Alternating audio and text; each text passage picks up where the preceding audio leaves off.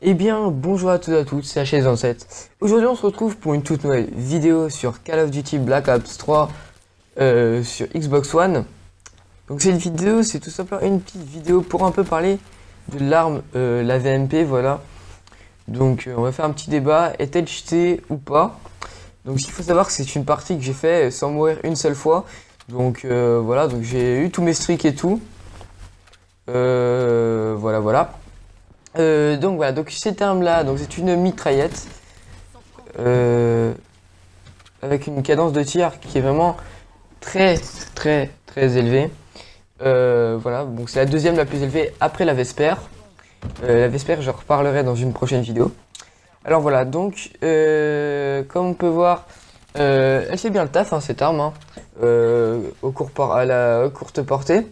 Voilà, et à longue portée, je trouve que quand même, si on arrive bien à la gérer, elle peut être vraiment meurtrière aussi à longue portée avec un silencieux.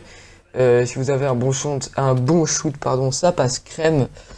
Euh, voilà. Donc après, c'est un, plein de gens la trouvent cheatée. Alors ce qu'il faut savoir vraiment, c'est que pas tout le monde la maîtrise. Pendant une certaine époque, je la maîtrisais, mais vraiment pas du tout. Euh, voilà. C'est vraiment une catastrophe pour moi cette arme.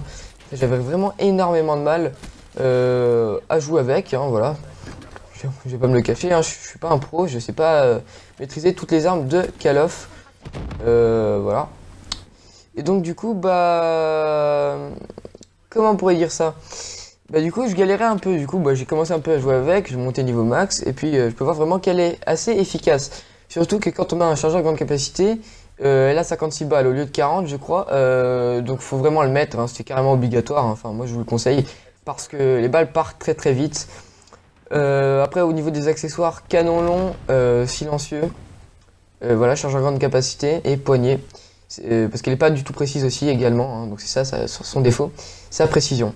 Après, je ne mets pas de viseur. Après, si vous aimez bien mettre des viseurs parce que vous n'avez pas joué avec le viseur d'origine de cette arme, faites comme bon vous semble. Moi, je joue avec cette, avec cette combinaison. elle me convient parfaitement. Donc voilà. Donc après cette arme-là, si je devrais la traiter de cheater, je ne dirais pas, je la traiterais plutôt d'efficace.